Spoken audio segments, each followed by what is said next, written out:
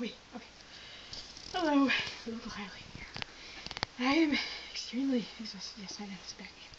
I'm extremely exhausted because I just ran away from a rubber spider that tickled so much. And I freaked out for some odd reason. But today's video is how to punch out your own face mask from McDonald's. I did not attempt too tired to recap. Okay. So, step one. Pick out your victim. And step two. You're gonna challenge the box. Yes, challenge. Have a stare down. Messing with me, bro? Yeah, that's what I thought. Then you punch it out.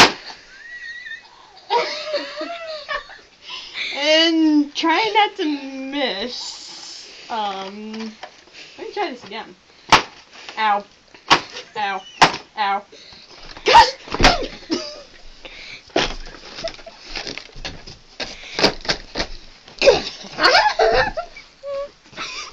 Yes! okay, out of hands. Thank you for spending your time on this stupid video for your spare time. Stay tuned.